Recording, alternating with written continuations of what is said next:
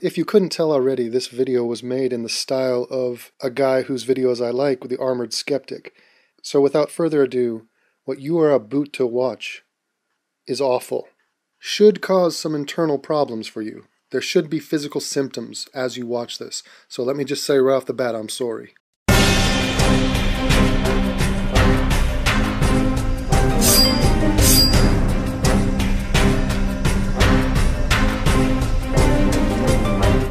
Well, the vast, vast majority of the protests going on in Washington, D.C. today during Donald Trump's inauguration were peaceful. There were isolated instances of violence. We don't yet know if they were actually uh, progressives or liberals or if they were just provocateurs sent there by the right wing. But we're going to show you if we could. Join me, why won't you, as I descend down the rabbit hole of regression. I love the idea that John just threw out that these protesters were somehow a mystery to us as to where they stood on the political spectrum. They could be progressives, or they could be plants from right wingers. Which is more likely, John? But well done. Muddy the waters, throw out a ridiculous notion, and then just move on to the next topic. Great. No one will ever know. I find it fascinating, the defensive measures that these people do in reaction to some of the violent protests at the inauguration. Continue. Just bring up the, uh, the B roll pictures here. You're going to see shots, some of what looks like it might be violence. Oh, this is good too. Mm-hmm. You're seeing there uh, various things being thrown by police and things like that to try to clear out the group. You're seeing a huge amount of police in riot gear there.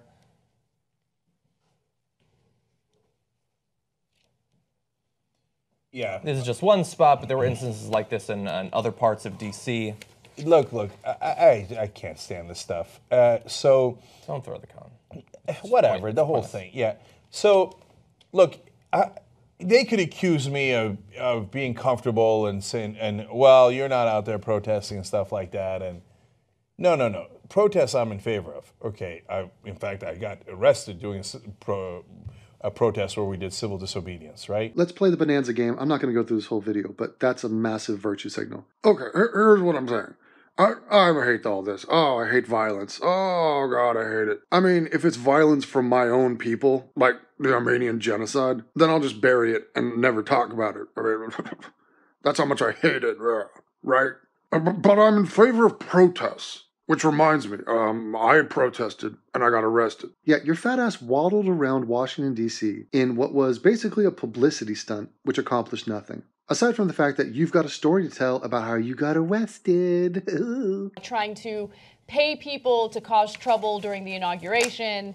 This is something that right wingers do. So I would not be shocked if there were provocateurs out there. We don't know who these individuals are, but we do know one thing, and that is that the mission of true progressives, true liberals, is a peaceful one. Ana, what do you mean by that? First of all, why the blonde hair? Didn't you do multiple videos about hair appropriation? I'm pretty sure I did a video on that. How does she justify this? I mean, every Halloween rolls around if we so much as put a feather anywhere near our costume, we're deemed to be worse than Christopher Columbus. And now she's just rocking blonde hair? No. No, cut that off. Call the surgeon that carved off your hook nosed beak and have him shave your head. A la G.I. Jane, a la Natalie Portman from Vendetta, a la me. And that's not a Muslim thing, that's just, uh, it's a French thing. Okay, what she's trying to do is saying if you take part in violence, you're not part of us. Ana floats on an ethereal cloud above all violence. No true Scotsman ever swung a broadsword, Mr. Mel Gibson. You are no longer a Scotsman. And let me be the first liberal here to say, no, fuck that. Now, look, violent protest I disagree with, but to be against violence is insane. This is the difference between regressives and everybody else, is that they are weak. This is a weak stance. To shy away from violence in this manner, it shows your total unwillingness to grapple with actual problems. Because guess what? There are violent people out there, and we need violence. We need a military. We need the cops. We need batons and tasers. There's a time and a place to kick ass. And if your policy, if your standing policy is just, I will never be violent, then you're no better than a tree hugging hippie. Now go smoke pot, have a little free love, contract AIDS, and leave the planet.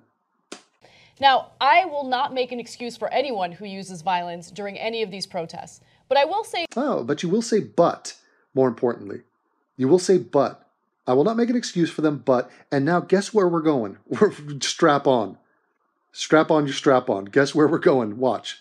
But I will say this I find it interesting what the media's response is to people breaking windows and how quickly they denounce that kind of violence. Oh, are you telling me there should be a pause in their denouncement of this violence? Oh, well, you know, that Starbucks was overcharging people for their coffee, and the lines were kind of long, and the 18 year old they had behind the counter was kind of taking his sweet time. When simultaneously, we will be bombarded with police shooting videos where, where we will see someone like Walter Scott running away from a police officer as he gets shot several times in the back. I believe, Ana, if you check the history, that story was covered in depth, and that video has been played millions of times. That is not a buried story. Now, for everybody out there, and she does it again later in this video, this is a pivot to fuck whites, to fuck cops, and to save blacks. This is, hey, yeah, I know you want to denounce the rioting at the inauguration day, but why aren't you talking about Walter Scott right now? That's another problem, isn't it? Two problems kind of makes a who cares. Does anybody remember what we were talking about? Have I confused you? yeah, and uh, the reason nobody's talking about Walter Scott while covering a riot on inauguration day is because that happened months ago and would be totally irrelevant. That would be a non sequitur. Blondie. And that type of violence doesn't get denounced as quickly. Oh, we don't know all the evidence yet. We don't know all the. What do you mean it doesn't get denounced as quickly? Of course it did and does. Why do you think they arrested the man? For murder. Why do you think that happened? And here's the subtle difference. When a police officer is accused of a crime, we must factor in all the details because we don't know what happened precisely. Because the police officer has to deal with a lot of shit. And when the facts come out, as they did, Everybody was denounced properly, but only Ana wants to bring this back and shoehorn it into a conversation that has nothing to do with anything.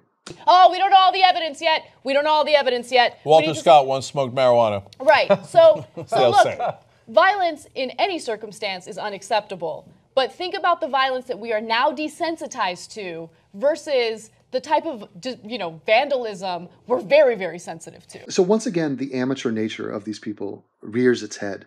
These are people that have wandered off the street and just, you know, right out of academia. Ana goes to a shit college and is super idealistic. She just wanders onto a set. She begs this fucking stumpy dude for a job. And they're just like, yeah, Ana, just talk. Just say stuff. This is the same journalistic integrity as The View. You know The View with Whoopi Goldberg and used to be Rosie O'Donnell and all them? Do you know what credentials they bring to the table? Absolutely none. And do you know why that show works? Sadly, it appeals to the lowest common denominator. People want to feel like they're the smartest person in the room. Nobody wants to hear a bunch of intellectuals talk or people that are just too informed. They're like, I- would rather hear just a dumbass average analysis of everything. It's stunning to me that this is the dynamic at play here consistently. Uninformed, average, biased, hateful, moronic people spouting off whatever. Uh, unlike all the partisans, etc., and I, and I include the establishment as partisans, uh, and look, the, the mainstream media, their number one problem is they have they claim they don't have a perspective or an opinion. That's preposterous. Their perspective is that of an establishment. Okay, protect the status quo, and so that's their enormous bias. Right, right, right, right, right. So if anything upsets the status quo, they're outraged by, oh my God, you broke a Starbucks window. I go to that Starbucks. This is yet another stupid utterance from Frankenstein's younger, fatter, sweatier Browner, special needs little brother. Um, what do you mean the media is the establishment? The status quo. The status quo and the establishment are buzzwords that they will fling out and try to apply to anything. So wait, you think that the news covering the mini riots going on during the inauguration is them with an agenda? Okay, wait, so wait. The establishment is not having our buildings ransacked and destroyed. That's the status quo. And what's your status quo, Cenk? If somebody went down to your studio and firebombed it, would your outrage and would your talking about that event be you protecting the establishment and the status quo? Yeah, the status quo is called civilization. You fucking monkey. Now, I hate that they broke the Starbucks window. I'm going to get back to that in a second, right? Right? Right? Right? But if you shot Walter Scott in the back, well, I'm not Walter Scott. I wasn't going to run from a cop. I don't have, uh, you know, outstanding traffic tickets or anything. Simply amazing. I'm against violence. Okay, here's what it is. Um, somebody threw a brick in a window. Um, now I'm up here. I'm wearing a t-shirt with a jacket. Well, let me riff off that. Let me. Okay, what do I want to say about? Hmm. Well, how about the question that everyone's on everybody's mind? Am I in favor of burning down stores and busting windows? Uh, no, I'm not. I'm, I'm against it. Oh, it's brilliant, gang. It's br- it's like watching Halley's Comet, but every day. And then we get a pivot on over to Walter Scott. What in the fuck? Talking about Walter, talking about Walter Scott, talking about da, da, da, da, da, da, living it up on the Barry Gibb Talk Show. Talking about do do do. Talking about black people for no reason, living it up. Okay, what in the two pound, three ounce baby Jesus Christ are you talking about when you mention Walter Scott in connection to fanatical lefties busting up a McDonald's? What are you doing? Oh, I know what you're doing. You want to talk about a situation where a cop did something wrong. A white cop did something wrong to a black guy. What itch does this scratch on your bloated ass, disgusting body? Well, it covers fuck whites. Oh, for sure. It covers save the blacks. It covers fuck the cops. And it's also a pivot to another problem. So, literally just talking past all of us. The very hard to wrestle with question of whether or not it's good for people to break down McDonald's is McDonald's is now left in the dust. It's not on the table anymore. We're going to go talk about another problem, which is the cop who shot Walter Scott in the back. Happened months ago. It has nothing to do with anything, but bring it up because we're comfortable in that area, that milieu. I'm, I don't. I'm not a poor guy living in South Carolina. I'm not The a 12 year old named Tamir Rice. okay, so what's great is they're taking on the part, they're playing the part of somebody like a right winger who doesn't have empathy. Oh, not like these empathetic people of color, yet they care about it so much that on the day after Inauguration Day, they will bring it back out of the void to rub people's faces in it. And Ana, the hook nosed Ana, brings up Tamir Rice. He was 12. Oh my, not even 13. He was a tween. Tamir Rice. Oh, poor Tamir. I guess the 24 white people who got shot with toy guns that year will not be mentioned, but yeah, forget that. Mention one of the five blacks that got shot with toy guns. Sort of a phenomenon that kind of explains itself. You carry around guns, you flash them at cops. It's not going to go well for you, hombre. So yeah, Tamir Rice gets brought up, and uh, it's just uh, pathetic. And what it is is it's number 10. It's if someone presents a problem to you, mention another problem. Because two wrongs make a who cares. How are we supposed to keep track? We were talking about one thing, but then whoa, whoa, we're over here. Tamir Rice, what happened? Was the, are we going to discuss the details of the case? Uh, No, what? It's just random. Oh, she's not done. Go, continue, Ana. I'm not a 12 year old named Tamir Rice who's playing with a toy gun at a park. You know, that's not me, so who gives a fuck? So you know, Absolutely crazy. Playing with the toy gun, he was brandishing a weapon and could have killed somebody. In other words, it could have been a real gun. It looked exactly like a real gun.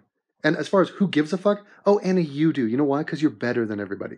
What you're doing is race baiting. What you're doing is a pointless exercise of virtue signaling. This is the Ana Kasparian World Tour. Hey, mom, look, I'm on the TV again. Look, everybody, I'm making something with my life. I'm a journalist, right? I'm a journalist, yeah?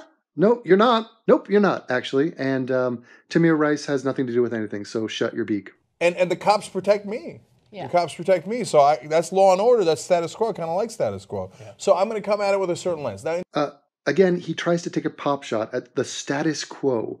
And what he's defining as the status quo is cops protect the citizens.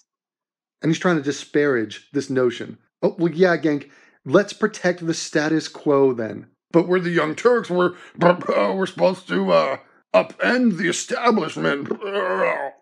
Okay, well, you're a caricature of what people should not be like. That is the service you provide to YouTube. Thank you. and to the people who are doing the violence, look, if you're a progressive, the whole point of being progressive is nonviolence. amazing. Simply amazing. Nonviolence. Okay, so that says a lot, doesn't it? I told you that pacifism was at the core of these people. And what is pacifism in a world filled with competitive primates, tribalistic, violent primates? What is a pacifist? Well, that's somebody who's not living in reality. You can have all the aspirations you want, be as idealistic as you want. If you are not willing, or if you don't understand how and when violence is necessary, then you're a clueless douche who offers nothing to the conversation. So he adamantly says it. Violence is terrible. So that's why it's fuck America constantly. Because America's got to deal with violent groups of people all around the world. That's why they minimize terrorism. Oh, you know, it's terrorism something, but also people die from heart attacks and uh, car crashes and you know, furniture breaking. And that's not as egregious. That's not as confrontational. We don't have to admit that there are violent people at the gates that we got to go and smack down with violence. And you know who's violent in our communities? The criminal element, most of which are black per capita.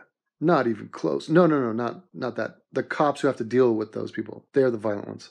Well, surely they must be violent to deal with the violent subset of these communities. Surely you understand that.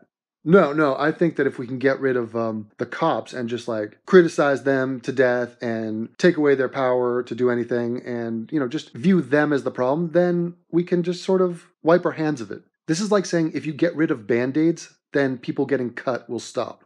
That's exactly what they're trying to say.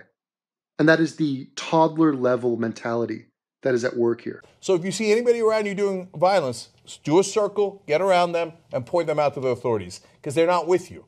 And, and that way you can root out the provocateurs. Mm-hmm. Okay. yeah, the minute somebody does violence, they are no true Scotsman out of the movement. I wonder if they would apply this to the Black Lives Matter movement. Oh, you know they did. You know they did. Anybody that kills a cop, anybody that tortures and kidnaps somebody, even though they openly say that they're in favor of Black Lives Matter, clearly part of the movement. No, they're not officially a part of the movement anymore. Bye bye. I saw this done to the president of Black Lives Matter Toronto. She was no true Scotsman out of being part of Black Lives Matter. it, so, and now let me go piss off a whole bunch of people, but that's okay because they're all trolls, right? That's right. That's right. That's right. Both on the whatever, if they think that they're on the left or on extreme left, or or certainly plenty of the right, right? The right, right, right, right, right, right. So this is moronic. I mean, he brings up right wing protesters for, I mean, again, pivoting and muddying the water, saying, hey, yeah, we are reacting to a story about left wing people rioting. But let's just talk about provocateurs. Let's call them that. Well, that's fancy. A provocateur is a guy with a clever, a witty retort from the back of a fucking public gathering. A provocateur is somebody who goes to Speaker's Corner in London and gets up and says, Islam is the new Nazism. React. A guy throwing a brick through a window is a rioter and a thug and a criminal. Which is like they're the anarchists, like the original trolls. They're like, ah, who cares about order? Let's mess up the order. right? Ah, right? Ah, right? And I'm just gonna mess with people, but I'm not gonna solve anything. What do I care about solving anything? I don't want to be productive. In fact, let's be counterproductive. Bah, bah. And the, and the alt right. That's a direct quote. Yeah. Bah. And alt right. counterproductive. Bah. alt right's the same thing. And now the alt right get a mention. So uh, he's going after just literal internet trolls. It's, it's just stunning to see the dynamics of what happens here. I mean, let me ask you a question. If a bunch of right wingers went out and started a riot and they covered that story, do you think that they would bring up, I don't know, uh, Greenpeace terrorism, left wing protests and rioters, Black Lives Matter riots, do you think that would be brought up? No, they would be 100% on that. Let's just mess things up. Let's just break things. Break them. Who cares? We don't have to be productive. The alt right and the, and the anarchists, they must love each other. I'm surprised they haven't gotten together and done orgies yet. Yeah. Right? Right? Right? So, because they're so stupidly unproductive.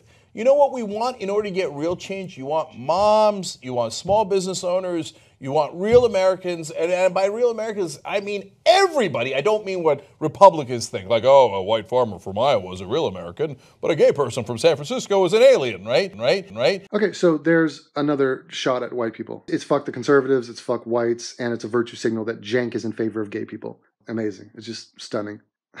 it's the same pattern over and over again. I have decoded these people. I could program an app to tell you what these people will say about any event. It's just mix and match. No, I mean all walks of life at those protests so you can win and get real change instead of getting your rocks off pretending to be, you know, yeah. alt left or alt right or whatever the hell you think you are. Yeah. And the train wreck and the cringe compilation, that is the Young Turks, continues to undulate its way into the future like Jabba the Hutt waking up in the middle of the night, trying to get to the bathroom to take a piss. And what I and the regressive agenda which I have outlined represents is a thermal detonator. By the way, I have put a new shirt together with this thermal detonator, all 12 points listed. Look at it. Know that it is part of your destiny and press the necessary buttons to make it yours. Please wear it with pride. Please explain it to people when they ask you. It is a conversation starter. It is a majestic way for you to peacock and for you to also be right.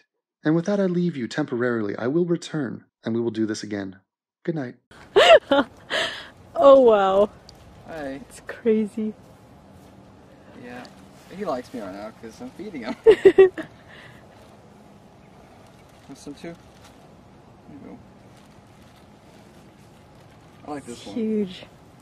He's more my size. Keep, make sure you keep eating the big one. oh, oh wow, wow, wow, wow. All right. Time to go. He's following. He's following. He's following. Don't bring him over oh, to the mama. car.